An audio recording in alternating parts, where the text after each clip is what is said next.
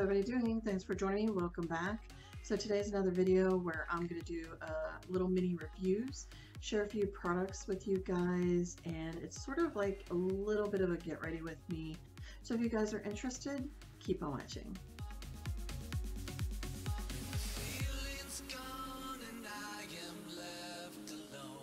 So I thought I would come on here today and share with you guys a few items that I had purchased a while back ago or just recently. And some of them are going to be first time trying out. Some I have already used. One is a primer. And I'm not sure if I actually shared this. I might have. And then it's like one of the things where I totally forgot I did share with you guys, maybe in a favorites or something. Uh, maybe I did, I think I did show you in a haul. I'm not sure. But it's the Hard Candy uh, Sheer Envy Hydro Prime Primer Lotion. It's a 12, 12 hour moisture. It's three in one. It's supposed to moisturize, prime, and perfect. And this one, some have felt maybe it's compared to the Hangover from Too Faced. And I love that primer. It is a really nice primer. Uh, but if it is similar to it, and I like it just as much, you know, this would be a little more safe friendly. But this does not say pore minimizing, and I do have a problem sometimes in through here, like a lot of us do. Not everybody, but a good many. You know, like some pores that need to be a little bit hidden. So put this primer on. Now, hmm, wow. Okay, this is a gel looking of a primer. More of a gel substance compared to too Faced, it looks more like a moisturizer, like a cream cream. This looks more gel. Um, there's a little bit of a scent to it. I'm not sure, maybe a little chemical scent, but we're going to see. I'm going to put too much on, I'm afraid. I'm a little nervous of that. I should probably, we'll put some down around here. When putting it on, I'm going to tell you guys, this is my first impression of it when I'm putting it on. It feels kind of nice. It's tacky, but that's what you want a primer to do is feel tacky, actually. From learning from some of the other people on here, tackiness is a good thing, really. But the first feeling when I first was putting it on, mm, uh, this might sound odd to you guys. It's like almost like a mixture like you're putting, um, I don't want to say Vaseline. I don't want to say that because I know people be like, say, what? Uh, no, I don't want to say Vaseline, but it is a very different texture. It has a slightness of that kind of feeling a little bit when I first was putting on. Now, it could be because I put a little too much on. All right, I'm going to go ahead and get ready to do my eyes. And there was two palettes that I have that I think one I didn't really show in a haul video is the Sassy Siennas from the Dose of Colors. Uh, I wanted to try some of their eyeshadows. I have a berry one, which is really pretty, but a lot of times the these orange shades like this are ones that really work good for my eyes because I have like greenish blue hazel eyes, I don't know. And there is a brush in that. And then also I'm going to use in with it the Not a Basic Peach, which is this palette here from Wet n Wild. It's really pretty. The colors are really gorgeous. Um, interesting enough that they don't have the, you know, eyeshadow brushes in them. Now, the one thing about this palette is there is not really a shade in there that I could put all over on my eyelid. I like to just use a basic off-white cream color. And in this one here, there is. I might have to use the one that says transition shade. Um, here's the brush that comes in the um, Dose of Colors and it's not bad. It has one end where you you can use to pack on your eyelid, and then there's this one here on the end that you can use as a like sort of like a pencil liner, like if you want to use one of the eyeshadows as as an eyeliner or you know uh, lower lash line. So I dipped into the transition shade in the Wet n Wild, and they said that they, I guess, reformulated their shadows, which their shadows were already really good. Now, the Dose of Colors, I love the palette. It is really pretty. I have used it once. They do have the names on the back of the palette. So if you need to know the names, they are on the back called um, Stay Sassy. And I'm going to put that a little bit above the crease area. These are very pigmented. I mean, as you see, very, very pigmented. And I'm going to want to leave, I'm trying to practice because sometimes I have a habit that my colors do not show well for my crease. And I'm thinking, yeah, because I think my eyes are getting that hooded, wonderful hooded thing going on. Sharon, this reminds me of you of a palette. You know how you always say, uh, stay sassy, classy, and confident? You need this palette because it has a little sass to it. Seriously. If you don't know who Sharon Capehart is, I'm going to put a link down below to her channel. You gotta watch her. She's so great with knowledge and uh, giving us output and input of uh, skincare. Just love it. Oh, okay, I see. They give you two transition shades. So I'm going to use this one in the Wet n Wild palette. I'm going to work it just a little bit and darken it up a little bit right here in, in the crease a little bit more. Like work it a little bit more in the crease. We'll see how that goes. Well, that looks not bad. It's like deepening it up a little bit more there. I am going to use, I think this is the shade called Oh So Sassy. I'm going to work that real tight in the end here. As you can see, the pigmentation is amazing. On both of them, the Wet n Wild is like what, four bucks, five bucks for them palettes. I only got that one right now. So they do have um, in this line, they do have a mauve and a neutral color. So if these are too powerful, um, you might want to try the neutral ones. I think the neutral would go great with this, like contrast together. These are all matte eyeshadows in the dose of color too, by the way. I'm not sure how well Yuns, Yuns, you can hear my Pittsburgh, Pittsburghese accent, but I'm not sure how Yuns are seeing that. I might have to use this brush and blend in a little bit to get rid of any of them hard lines there, like the heart, you know, like around the edges and stuff. Time for that light shade right there. I'm going to put it in the center to open up and pop a little bit. We'll see how that works.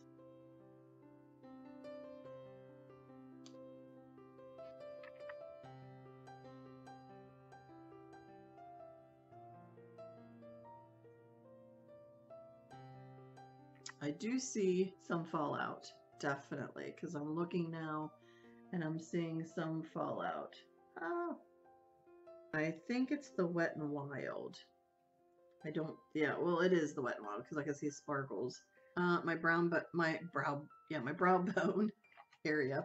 I'm just going to use a little bit more of that lighter transition shade right here. And I, I, I use matte mostly there if I do a matte shade, but some, once in a while I'll use shimmer there. All right, so the next item I'm going to use is the Lasting Finish 25 Hour Breathable Concealer. It's a lightweight medium coverage, and mine's in 100 Fair, and they look like this if you do see them in your store. I got mine at Walmart. Uh, they do have a ball tip. Almost reminds you of the Maybelline age rewind and it, you know, come out through the hole. I think you just squeeze it. Uh, some people I know don't always like those kind of, you know, uh, ball tips like that because of, you know, unsanitary. If you are, you could obviously squeeze it out, and get it on your fingers, or put it on a brush or something to that, you know, or your sponge, whatever. So I'm going to squeeze some out. We're going to see how well this works. And I'm going to dot it on. I don't know if I'd actually use this to you know, rub under there. I think for me, I'm just going to blotch it on. That normally is what I would do with the concealer from Maybelline. Conceal in some areas that I normally would conceal. And I'm, gonna, I'm just going to use my fingers.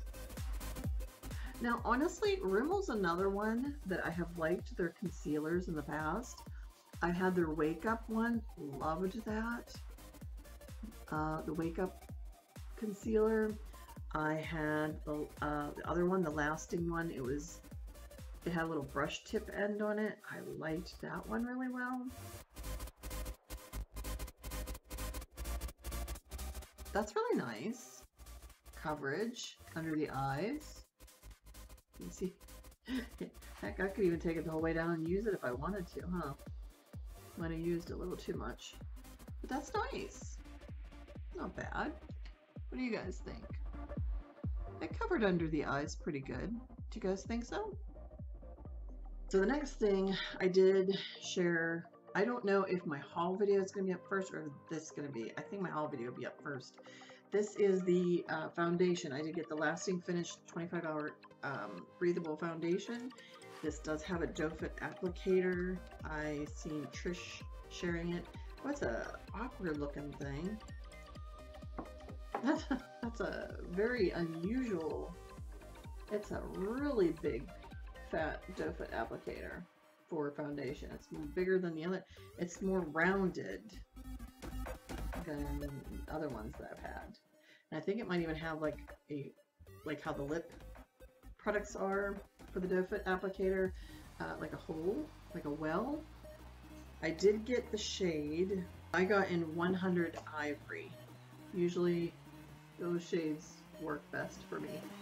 And I know Trish loves this foundation. And usually there's a few on here that um, I feel I'm compatible with when it comes to foundations. They're really pretty spot on for me. Like the color, the formula, the way the formula is. And Trish is one of them people that, you know, steers me no wrong on. And if you don't know who Trisha Oliver is, I will also put a link to her channel. I did collab with her not long ago. We did our favorites for January.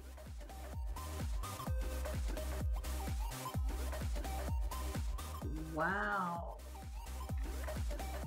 Now, I mean, obviously you still see uh, some of my imperfections popping through a little bit, but I see what Trish means. It really looks nice. Like I liked the lasting finish Rimmel, the one with the red cap. That was already a favorite of mine in drugstore.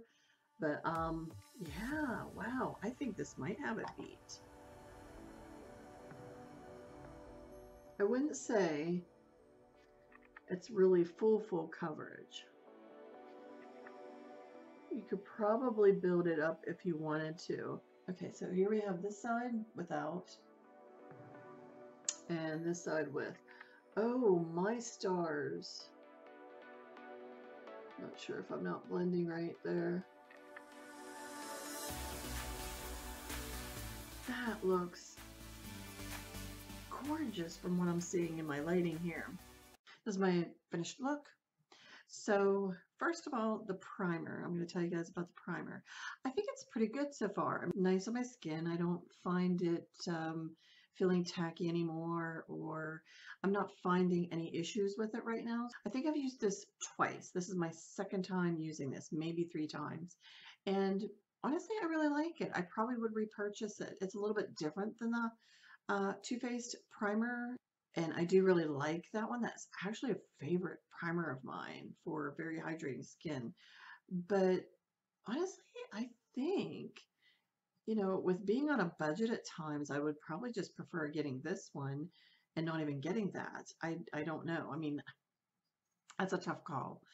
They're, I wouldn't compare them to being the same. Definitely for texture wise, they're not the same. So I wouldn't say it's a dupe or they're the same on that reference. Uh, wearability, uh, I will keep you guys updated with that one. Okay, the eyeshadows. I'm telling you what, these eyeshadows are great, amazing, both of them. The Dose of Colors, the Sassy Siennas. I will probably get uh, another one of these eyeshadow palettes possibly down the road. Yeah, this palette is amazing. I think it's 32. Is it like $32, 30 some dollars? I would say try some Dose of Color eyeshadow palettes like these ones here. Um, they're not really that expensive and for the quality that they are that you get, Um, there is, like I said, there. I think all four palettes are matte shades in them. I don't think there's any shimmer. So especially for you matte lovers out there, I would really look into them. The other two are a little more softer with the warm tones and then the mauves, they're more softer of a, of a color. And then the berries and the oranges are more vivid and brighter. The Wet n Wild palettes, holy crap. Uh, it really makes me remember of why I really loved the Wet n Wild eyeshadow palettes. And I have not used Wet n Wild eyeshadow palettes in a long time. I think they did step up their game, definitely. I really do. I, I do feel the quality is a little more up a notch than what it was. So there is kick up a good bit, but you know, with with the dose of colors, there's some kick up. There is a good bit more in here. There was fallout, but that's not a deal breaker for the price, like four dollars, like I said, for a palette. Okay, and then the concealer, Rimmel's Lasting Finish, 12 hour or 24 hour breathable concealer. It's great. I love this concealer. It is really good. It's, oh my God, it's really good. I love this concealer. Mm, it might take over my Fit Me that I really love because the Fit Me one is very hydrating for under my eyes. And I love a lot of Maybelline concealers, but Rimmel gives Maybelline a run for its money when it comes to concealers because so far every concealer I've tried from Rimmel I feel the same with Maybelline. So I feel like those are my two favorite drugstore concealers so far. This is a really nice concealer, guys. And for maturing, I, I didn't even do the whole tip thing that I showed you with the putting moisture under my eyes. I did pat with the powder with my fingers when I set my eyes, but that was that was it. This foundation, I feel like this is going to be my favorite. I, maybe I shouldn't say that yet, I think I'll just say I think this is going to be my favorite drugstore foundation. I really do. Because the Rimmel one, the other one, was in one of my favorites. I love the Fit Me and all. But you know what? When I think in in makeup and stuff, like I I love trying I love trying foundations. I love trying all kinds of foundations, concealers, obviously. But if I were to knock all my foundations out and just pick a couple, this would be probably in top five all, high end, low end, the whole thing. Obviously my ITCC will be with this, but I'm telling you guys, this does look gorgeous. Trisha's right. It looks like, it just looks like one with your skin. It is insane. I mean, it is gor it's gorgeous. I, I, I yeah, there's no, I, I feel like I'm stuttering because there's just no words. I'm shocked. I'm that shocked. All right, beauty. So that was all of my products that I had gone through that I wanted to share with you guys. And I will update as I go. Just look for when I have my favorite videos or sometimes I might just share a few products that I'm really liking kind of a thing. Just look out for those videos and I will update in what I'm thinking of the product and would I repurchase it. I like to do that sometimes and share with you guys. So anyway, guys, thanks so much for watching. I really appreciate that. If you did find this video helpful and enjoyed it, please give me a thumbs up as well as share me around. That will help me get out there and get noticed more out in the YouTube world. And if you're not subscribed to my channel and you just came over and and started watching my video, I would love to have you. Go ahead and click the subscribe button down below as well as the bell. Please make sure you hit both the bell and the subscribe button. The bell is very important because the bell is what will notify you of e an email of when my videos are uploaded and ready to watch. So you will be notified by email. As always, beauties, please remember to be yourself, love yourself, and let the real beauty shine through. So until the next time, you take care. I will see you then. I love you guys. Bye.